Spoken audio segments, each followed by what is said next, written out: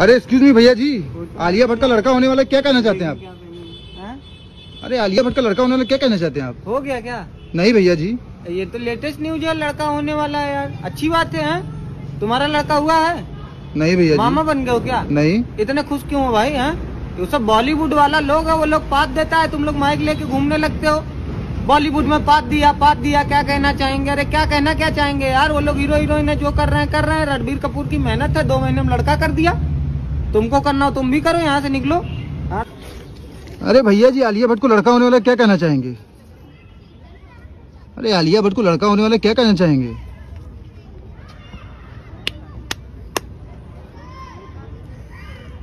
हाँ? क्या भैया आलिया भट्ट का बच्चा होने वाला क्या कहना चाहेंगे आप? पता है मेरे को। देखा मैंने पोस्ट देखा आलिया का।